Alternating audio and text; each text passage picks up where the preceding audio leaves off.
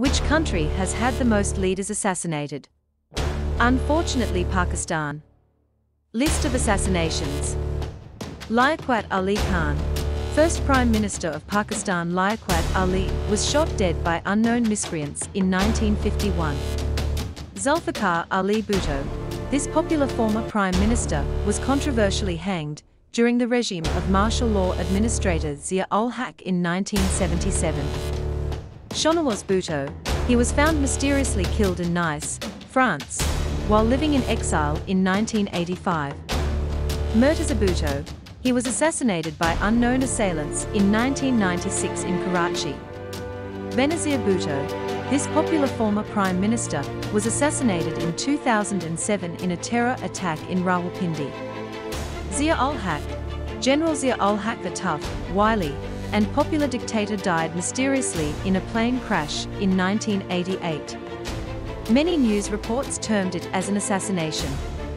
Abdul Jabbar Khan, a known politician and brother of Khan Abdul Ghaffar Khan, Frontier Gandhi, or Bacha Khan, was assassinated in 1958 in Lahore.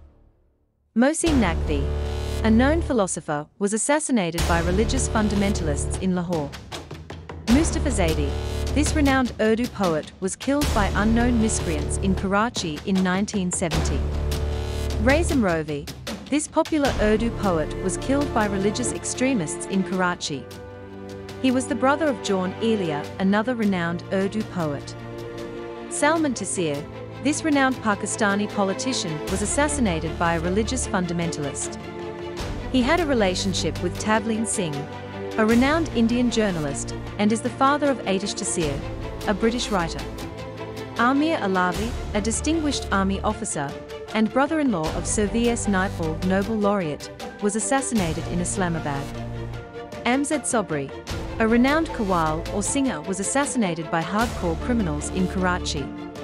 Shahbaz Bhatti, this First Minister of Minority Affairs and a Christian, was killed by religious fanatics in Islamabad in 2011.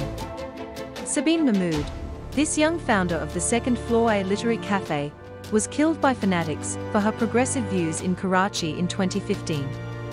Conclusion Assassination only makes martyrs not converts. Alphonse de Lamartine, French author.